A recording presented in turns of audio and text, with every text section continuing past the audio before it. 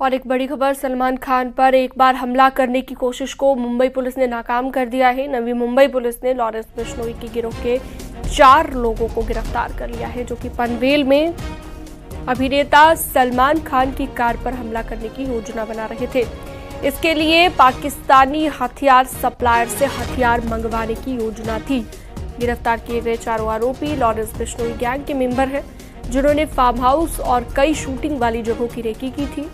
इन्हें सलमान खान पर ए के सहित कई अन्य हथियारों से फायरिंग करने का आदेश दिया गया था। पुलिस को ऐसे कई वीडियो आरोपियों के मोबाइल से बरामद हुए हैं।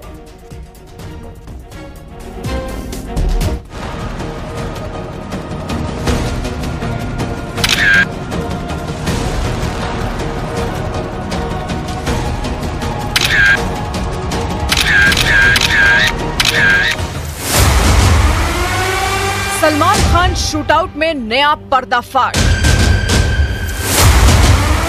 सलमान को एके 47 से मारने का था प्लान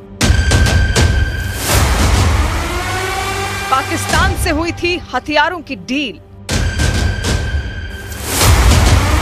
लॉरेंस गैंग के चार शूटरों का बड़ा कबूलनामा।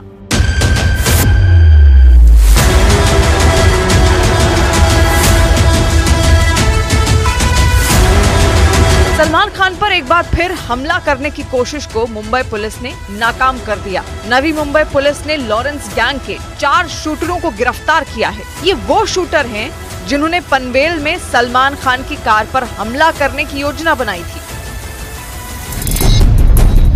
धनंजय उर्फ़ अजय कश्यप, संदीप विश्नोई उर्फ़ गौरव भाटिया, वासपी खान उर्फ़ वसीम चिकना और जीशान खान उर्फ़ जावेद खान। ये लॉरेंस गैंग के वो गुर्गे हैं जिन्होंने सलमान खान पर हमला कर उन्हें खत्म करने का पूरा प्लान तैयार कर लिया था।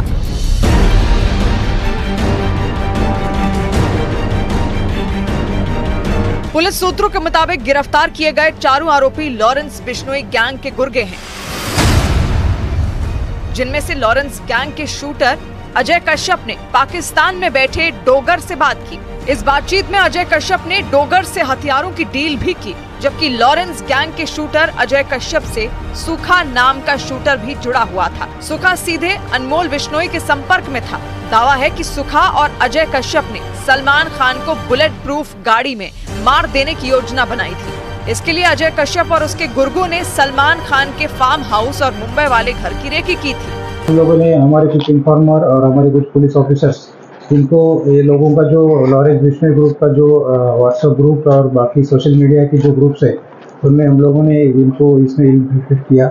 उसके बाद ये, हम लोगों को ये इन्फॉर्मेशन मिली कि इसमें काफ़ी दम है और वो इन्फॉर्मेशन वर्कआउट करने जैसे है। उसके बाद हम लोगों ने ये जो चार आरोपी है इनको एक हैदराबाद से, एक बैंगलोर से, एक संभाजी से इनको अरेस्ट किया। इनको अरेस्ट करने के बाद बहुत सारी इंफॉर्मेशन हम लोगों को मिली है। पहली बार 14 अप्रैल को सलमान के घर फायरिंग हुई थी, जिसके बाद पुलिस ने इस मामले की जाँच शुरू की। इसी कड़ी में लॉरेंस गैंग के चार गुर्गे, सलमान खान के फार्म हाउस की रेकी करते हुए गिरफ़्तार हुए। चारों शूटर्स को ए के सहित कई अन्य हथियार से फायरिंग करने के आदेश दिए गए थे। सबूत के तौर पर पुलिस को आरोपियों के मोबाइल से कई वीडियो भी मिले हैं। पुलिस को ये भी जानकारी मिली है कि मुंबई, रायगढ़, नवी मुंबई, थाने, पुणे और गुजरात से आने वाले लॉरेंस बिश्नोई और संपत नेहरा गैंग के तकरीबन 60 से 70 गुर्गे सलमान खान पर नज़र रखे हुए हैं ये नाबालिगों के ज़रिए सलमान पर अटैक करने का प्लान बना रहे थे और अटैक के बाद इनका प्लान बोट के ज़रिए कन्याकुमारी से श्रीलंका भाग जाने का था सलमान के घर पर हुई फायरिंग मामले में लॉरेंस बिश्नोई और अनमोल बिश्नोई मुख्य आरोपी हैं। इसके अलावा गोल्डी बरार, रोहित गोदारा, संपत नेहरा समेत 18 आरोपियों के नाम हैं।